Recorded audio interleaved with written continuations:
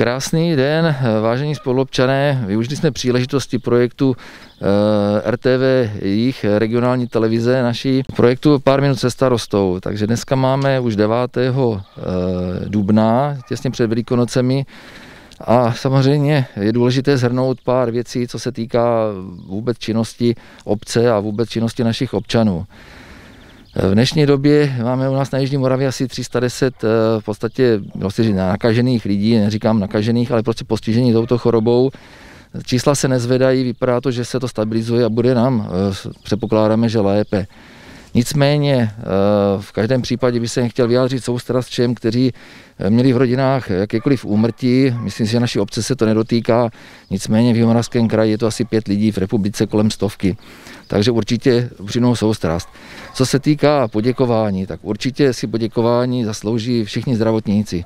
Integrovaný záchranný systém eh, jako komplet a samozřejmě všichni dobrovolníci, kteří samozřejmě šili roušky, poskytovali látky, eh, zaměstnanci, kteří byli eh, ve veřejných službách, to znamená jak obecní úřad, ale v první řadě určitě si zaslouží poděkování pracovnice jednoty v podstatě potravín, a samozřejmě pošty, které fungující služby mají za následek to, že eh, vlastně se zabrání chaosu a zmatku. Takže v době, kdy nebyly žádné ochranné prostředky, eh, svým způsobem se postavili tak trochu hrdině eh, k té, k té situaci a poskytovali svoje služby i nadále.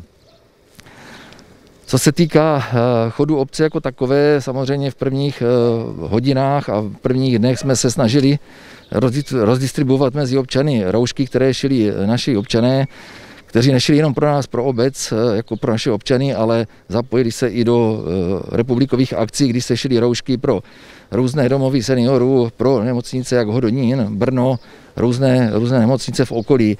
Takže od odhadem bych řekl, že přes tisíc roušek minimálně bylo rozdistribuováno mezi, mezi tyto zařízení. Eh, obec samozřejmě eh, fungovala dál, zaměstnanci chodili neustále do práce, takže kdo byl potřeboval nutně samozřejmě vyřídit nějaké neodkladné záležitosti, jestli ověření podpisu, jestli výpis checkpointu, cokoliv, fungujeme neustále dál, eh, takže to omezení už nějaká padla, nicméně pořád platí neustále to, že dodržovat vzdálenosti, nošení roušek a tak dále, Určitý informace máte ze všech médií, apeloval bych na to, abyste využívali hlavně zdroje ověřené. Eh, to znamená ne hlavně bulvární časopisy, ale spíše eh, oficiální stanoviska ministerstev, zdravotnictví, vlády a tak dále. Co nás čeká teďka? Eh, jsou před námi Velikonoce, takže bych vyzval všechny občany, aby dodržovali i přes tyto svátky zákaz nebo omezený, omezený pohyb těch osob, nosili roušky a závěrem bych asi řekl, staré, otřepané, ale, ale výstižné, co nás nezabije, to nás posílí. Takže z mojí strany děkuji vám všem.